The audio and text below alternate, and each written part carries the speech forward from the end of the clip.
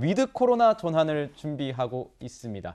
자, 단계적 일상 회복으로 방역 방역 체계 전환 기준 이 국민 70% 접종 완료가 이제 가시권에 들어왔습니다. 뭐 10월 중, 뭐 10월 중순이면 될 것이다. 10월 말이면 될 것이다. 이런 얘기 나오는데 그래서 11월 초에는 위드 코로나가 되지 않겠냐. 그래서 로드맵 얘기가 솔솔 나오고 있습니다. 이재명 기사 기자께서 소개 부탁드리겠습니다.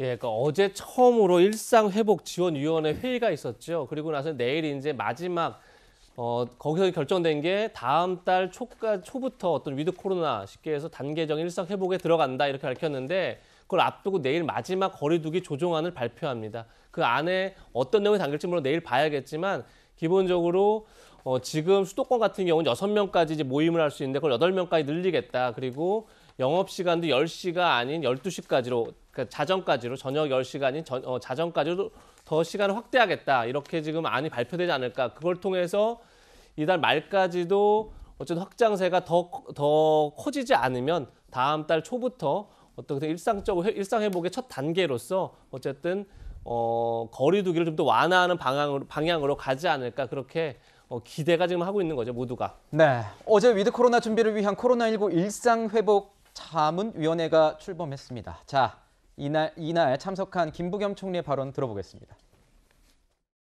이제 정부는 단계적 일상 회복 여- 여정을 준비하고자 합니다. 당장 마스크를 벗어던지자 이건 결코 아닙니다. 더 이상 미지의 공포가 아닌 통제 가능한 감염병으로 바꿔내고 소중한 일상을 되돌려 드리는 준비를 하자는 것입니다.